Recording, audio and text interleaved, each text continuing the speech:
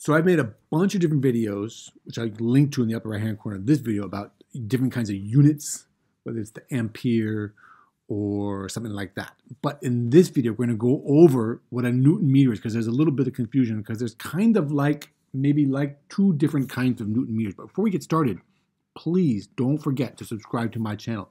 Get all my excellent physics, chemistry, and math videos. You can comment, you can give me a thumbs up, and you can share, support my channel step by step science. Thank you very much. I always appreciate it. Now, when we talk about Newton meter, we can talk about it in two different contexts. One context is in the context of work, and the other context is in the context of torque. And we are going to go over what a Newton meter is, is in both cases work and torque, and we're going to start with work. So let's go on and talk about what we talk about a Newton meter when we talk about work. Now remember, work has a very specific physics definition. In order to be doing work, you have to apply a force through a distance. So work is when you apply a force through a distance, like when you push something or pull something or raise something, and we calculate the amount of work that you do, we say that work W is equal to the force that you apply and the distance through which that force is applied. Now, as example, or as an example, here's a shopping cart, and we're going to apply a force of one Newton to that shopping cart. And guess what? We're going to push that shopping cart through a distance of one meter. And gee, I wonder how much work we did when we did that, when we applied one Newton through a distance of one meter. Let's calculate that. We see that that's one Newton times one meter, and that is equal to, you could say, I'm not even going to, well, maybe I'll say it. You could say that's one Newton meter because a one times one is one, and a Newton times a Newton is a Newton meter.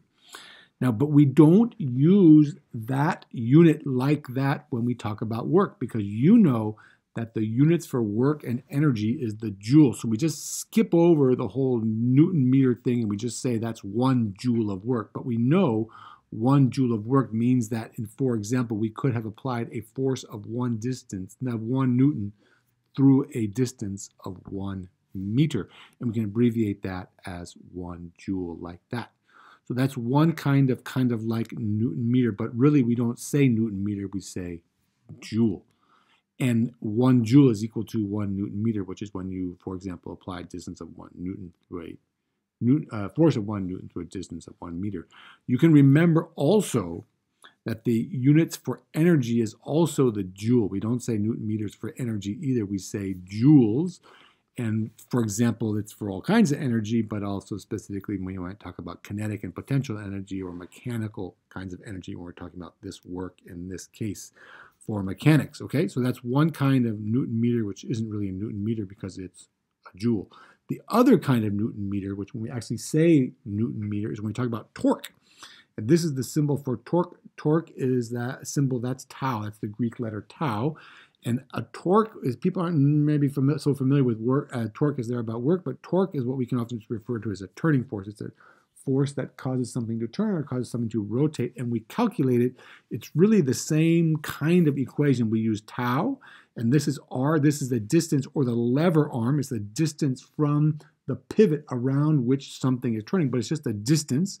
And this is the force which we would again apply in meters. And we can talk about that oftentimes. We talk, about, say we have a bolt or something we want to turn like this, and we get our bolt wrench, our wrench out like that. And normally when we turn this, we grab it right here, and we turn it, we apply a force over the force and, and the distance. Okay, but when we're going to say for simplicity, we're to that we would apply a force of one newton from right here. And we're going to say, now this is a really long wrench. It's actually one meter long or one meter to that point right there. So in this case, this is the lever arm. It's the distance from the pivot point. R is the lever arm. It's the distance from the pivot to the point at which the force is applied. So we say we're applying the force of one Newton one meter away from the pivot. We can calculate the torque kind of like the same way we calculate the work. The torque is one Newton because we're applying a one Newton force and it's at a distance of one meter. Now you'll notice here this is the lever arm and the for the distance in the force, but I'm going to switch these around because we say Newton meter, we don't say meter Newton. And so this is one Newton of force applied one meter away from the pivot point, and we can just say that the torque is one Newton meter. Okay, we don't say joule. We don't say the torque is equal to one joule. You can't say it in this case. Don't say that in this case. Okay, so for work, we say joule, but for torque, we don't say joule. We say one Newton meter. Okay, so I hope that clears things up. I do get questions about that occasionally. What's the difference between the torque and the Newton meter and the work and the joule? All right, so there you go. Hope that clears that up. Thank you very much for watching. Hope you found that helpful. If you did, please do all of the following four things. Subscribe to my channel, Step by Step Science. Get all my excellent physics, chemistry, and math videos. You can give me a thumbs up for this video. You can leave me a nice positive comment in the comment section below. Thank you very much. I always appreciate to get your comments. And don't forget sharing and caring. Share this video with all your friends. Show them just how much you care. Thank you for watching. We'll see you in the next video.